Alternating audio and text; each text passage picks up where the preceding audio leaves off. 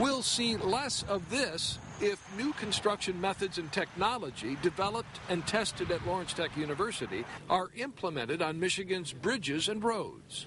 We can solve the problems in such a way your children and grandchildren don't have to assume the same problem that we, you and I are experiencing today. Dr. Nabil Grace is Dean of the College of Engineering. He's been researching the use of carbon fiber reinforced polymer materials to replace steel for years now.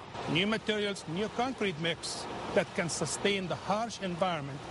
And behind me here, we are developing a new bridge system that can integrate new materials like carbon fiber, which is much, much stronger than steel and much lighter than steel. The technology was first used in the construction of one span of the Bridge Street Bridge in Southfield.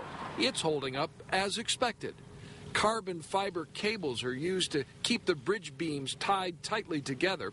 That reduces the likelihood of cracks developing on the roadway and subsequently corrosion, which affects the lifespan of the bridge. So you're talking about the lightweight that the construction workers would love to see. You're talking about stronger materials.